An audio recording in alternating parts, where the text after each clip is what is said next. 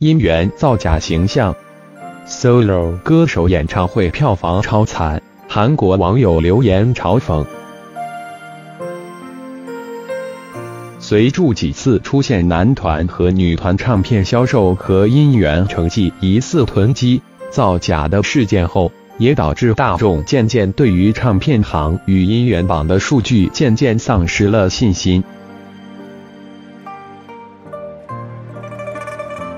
像是今年二月，女团 No More Land 传出囤积唱片的新闻，引起了许多讨论。当时 No More Land 的新专辑 Great，竟在二月十二日当日售出八千二百张，光是一天的销量就超过了 No More Land 在一月份整个月的专辑销量，因此也引起了大众的怀疑与猜测。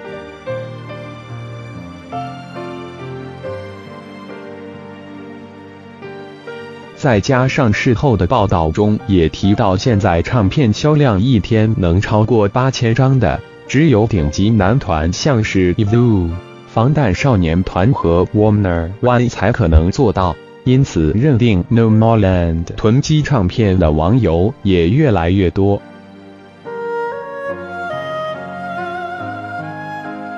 虽然经纪公司也紧急出来澄清，绝无此事。但当时的说法和拿出的证据却完全没有说服力，也让大众并没因此改观，反而更加怀疑啊。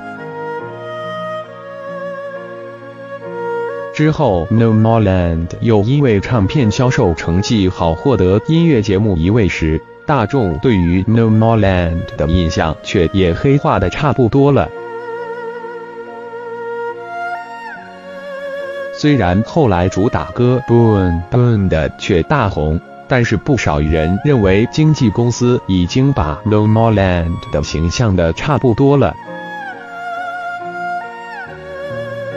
后来公司表示那时的唱片是由日本粉丝联合购买，但是却已经没有太多人想相信他们了啊。而除了唱片囤积，当然，就还有音源造假的事件。Solo 歌手 Willow 去年十月底发表的歌曲突然上升到音源榜一位，突然在六个月后突然名次骤升，让很多网友怀疑是音源造假，更有人怀疑是利用音源工厂刷音源，各式各样的说法在网络上吵得沸沸扬扬。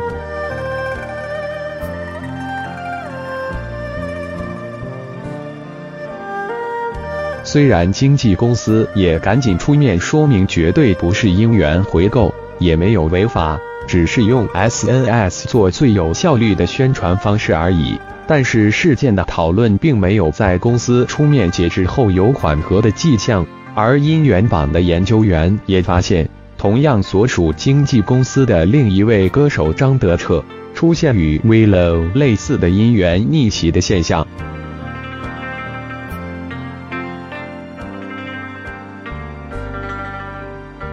研究员将两人的音源上升趋势与之前 EXIT 的 UP 和 Down 相比较之后，发现 EXIT 是慢慢的从音源榜上升上来的，但是张德彻与 Willow 却是垂直上升的，以这么惊人的速度登顶，真的是很不寻常的一件事。而且两人都是午夜霸榜，因此 Willow 也被冠上了音源造假歌手的称号。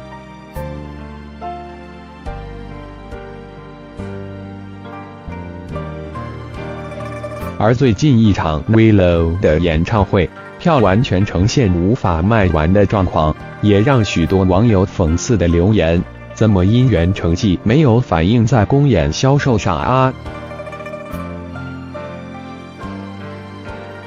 这场演出已经开卖了十天，一千一百三十四个位子，却只卖出九十席，这样的惨况也引起了更多网友的攻击，因为卖票没有办法造假啊。虽然现在的却又卖出更多票，但是销售数字依旧不太好看。